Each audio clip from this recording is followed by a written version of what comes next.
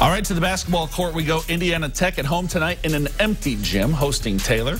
Tech up four at the break, but back come the Trojans. Corey McKinney loses the ball. Zach Bauer picks it up off the floor, finds Jason Hubbard on the break for two of his 12, and we're all tied up. But it was a whole lot of Warriors from there. Up three, Josh Klein denied on the pick and roll, but he sticks with it and gets the follow to drop. Team high 18 from him. Tech goes up five. Later on, McKinney on the break, little shimmy shake, ain't going to lose it this time. Pull up Jay for two of his 14. Warriors go up seven, and then isolation for Raj Stein. And look at the moves from the big man down low, looking like a young Justin Prince. He added 17. Warriors go on to win this one 88 74. They're now 4 and 2 on the season.